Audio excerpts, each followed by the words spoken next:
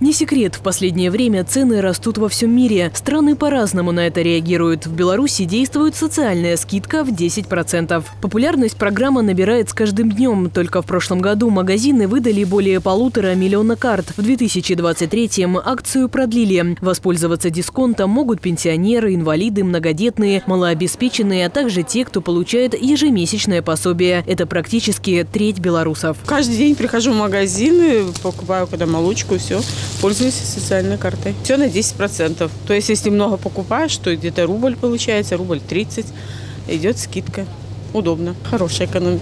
Для нас, пенсионеров, каждый день даже 80 копеек, если там, ну, не, не всегда же покупаешь там все это, ну, что необходимо. Но каждый день практически молоко, хлеб, батон. Рассчитывать на поддержку государства можно в магазинах 14 торговых сетей. От участия в программе, понимая важность социальных вопросов, не отказался ни один крупный ритейл. Среди участников Евроопт, Санта, Грин, Алми, Простор и Доброном. Скидка распространяется на 29 позиций. Речь о продуктах, которые белорусы покупают каждый день. Яйца, мука, масло, твердый сыр, сахар, мясо на кости. Чтобы стать участником социальной программы, нужно предоставить документ, подтверждающий льготу, и на месте заполнить анкету. В некоторых магазинах акция встраивается в уже существующую скидочную карту. Оформление занимает буквально пару минут каждой организации свои тонкости предоставления скидок. В большинстве магазинов они не суммируются с другими акциями. Плюс в некоторых торговых сетях придется заплатить за саму пластиковую карту. Сотрудники готовы проконсультировать покупателей по всем вопросам и помочь с оформлением. Карту можно передавать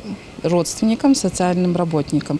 Но при расчете покупатель или соцработник должен предоставить документ, подтверждающий родство, либо социальное удостоверение.